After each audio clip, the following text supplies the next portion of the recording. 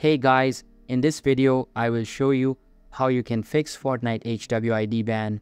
So make sure to watch the video till the very end. And let's begin.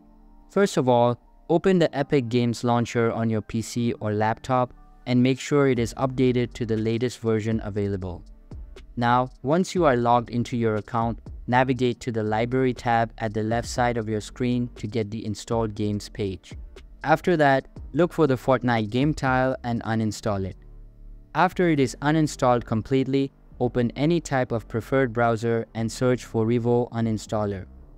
Now open the first website and download the software by going to the Downloads tab.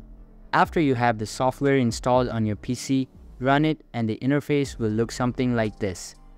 Now look for the both Epic Games applications and uninstall it.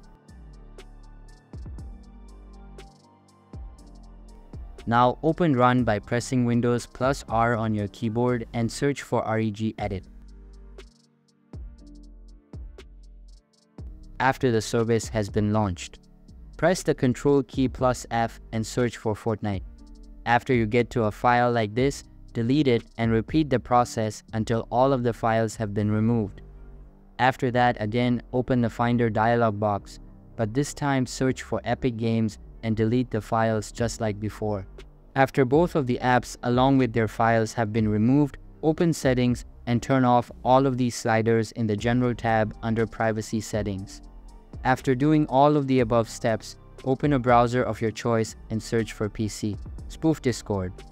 Now download any legit spoof or spoof your location again.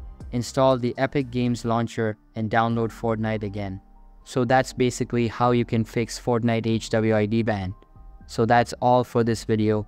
Hope you liked the video. Thanks.